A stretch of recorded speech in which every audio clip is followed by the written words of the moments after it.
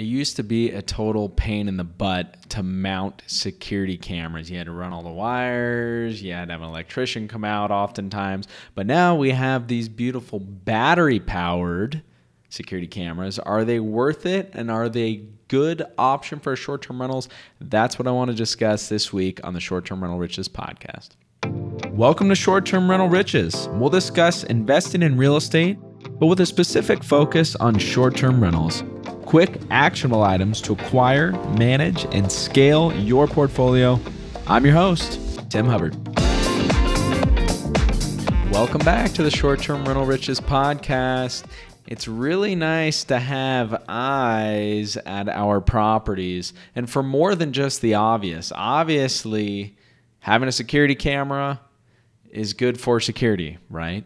but it's also good for some other things that maybe you haven't considered. So I want to talk about a few of those things this week, but also talk about three of the main features that you want to look for when you're considering a security camera for your short term rental. And then I want to give you five options, including the ones that I use on dozens of properties with my team. So let's go ahead and get started. Security cameras are for security. Duh, obvious, Tim. But there's other things that we can use them for in the short term rental world. For example, when we have a guest check in, let's say there's two people on a reservation, but six people show up.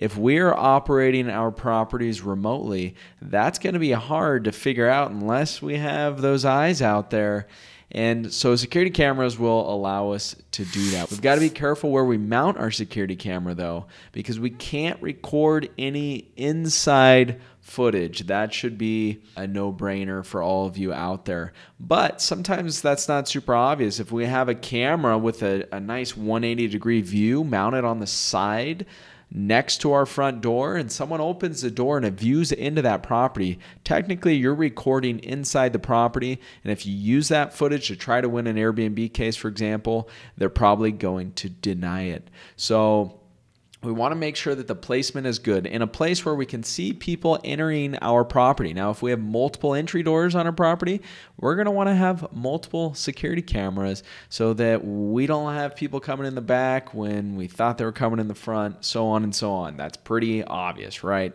So we can verify guests coming in. We can also verify if they are bringing a furry friend, a pet, when maybe they weren't supposed to.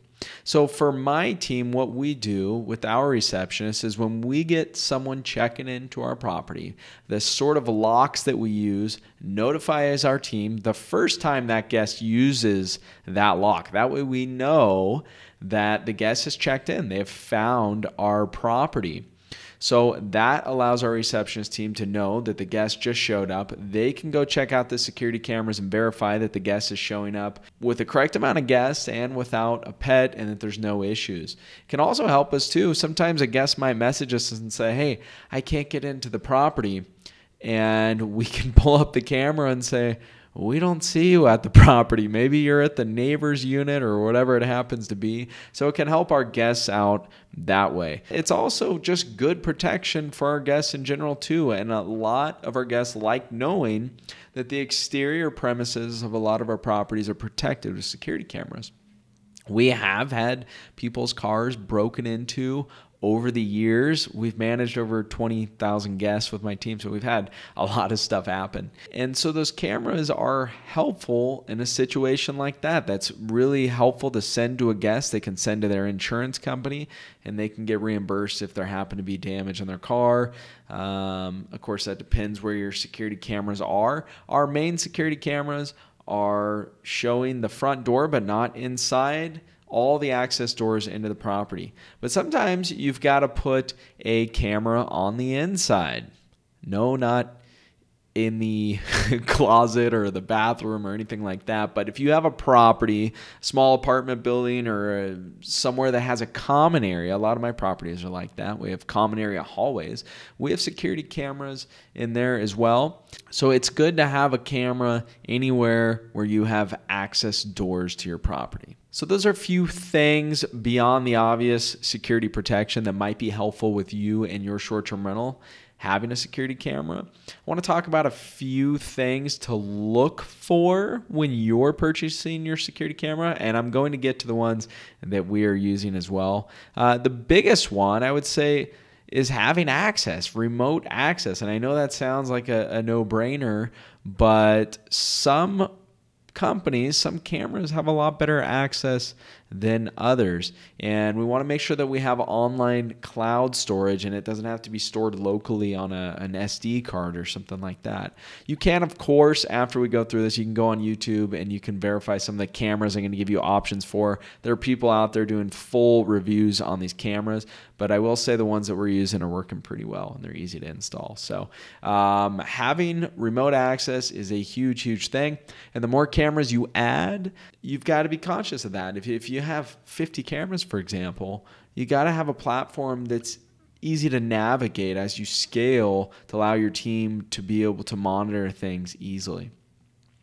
So the platform, the online platform is important, making sure it has cloud storage. The installation is huge. And I mentioned in the beginning of the episode that there's a lot of wireless options now. If we have a wireless option, then it's going to be a lot easier to install. We don't have to call a technician now. We can literally we can get them up right away. There's a lot of good options out there, including the one that I'm using. So is it wireless or is it a wired option? I would say the wired options, if you've got someone to help you install them, then go with the wired one because then it's one less thing to worry about, right?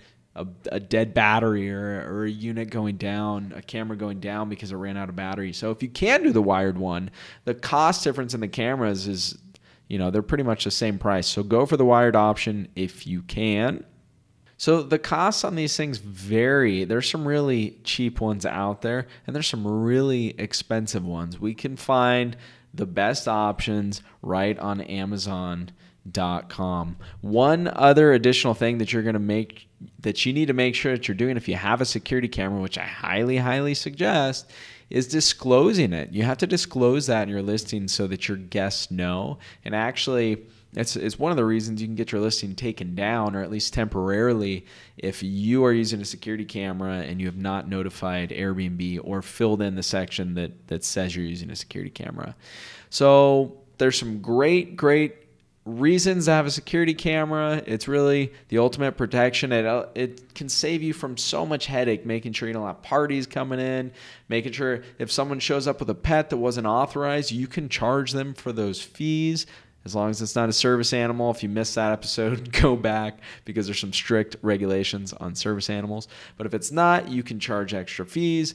Uh, you can see when they check in, so you know that they got in okay. You can monitor the parking areas and make them feel more secure and have more protection for their cars and all those types of things. So that's pretty obvious. When you're buying your actual camera, make sure that it's got a good online storage access platform. You can access it from your mobile phone and that it's only recording really when it picks up motion. Otherwise, it's just going to fill up uh, a lot of space. Most of them are doing that now. Most of them have night vision, which you're also going to want.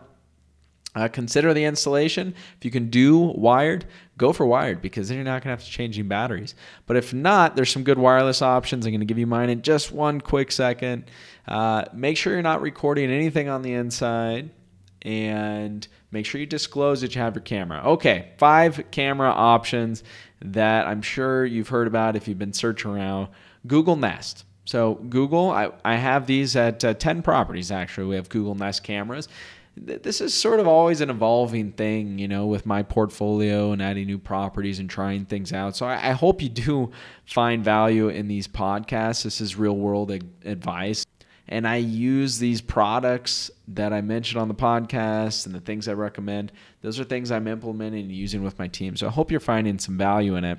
And if you have something else that you want us to talk about, please write in. You can send us an email at contact at restmethods.com or you can jump over to our website, strriches.com Com. So, okay, Google Nest, that is a very common one, and they do work well. They have different options on there. You do have to pay for their Nest Aware subscription, which is going to provide you the cloud storage. I don't know the exact prices on that, but that's something you will want to consider, especially if you're planning on adding multiple options.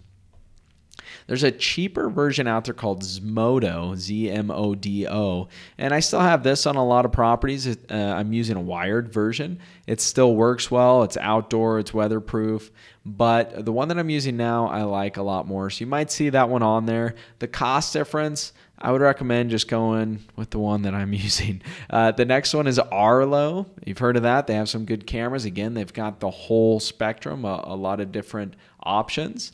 Uh, another one, Amazon Blink, and this is probably the least expensive one. And they do have a battery powered option, so you can throw it up right away.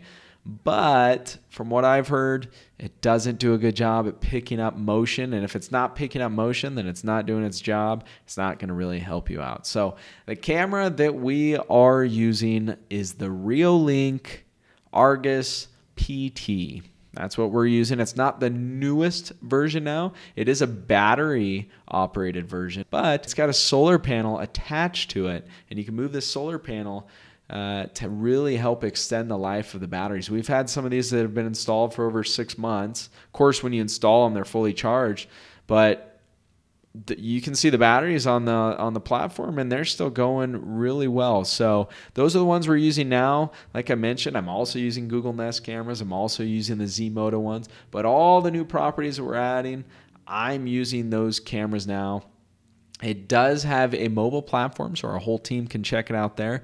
And this is a really good thing, too. The cloud storage cost is low. It's it's really low. Actually, at the time of this recording, for four dollars, you can have five cameras on there with a certain amount of storage. Uh, for just as little as ten dollars, you can have twenty cameras on their platform, saving I think 180 gigs of storage. So it's a real inexpensive monthly subscription, and it's a good camera. You can find it on Amazon.com. I don't think it's more than 120 to 150 dollars.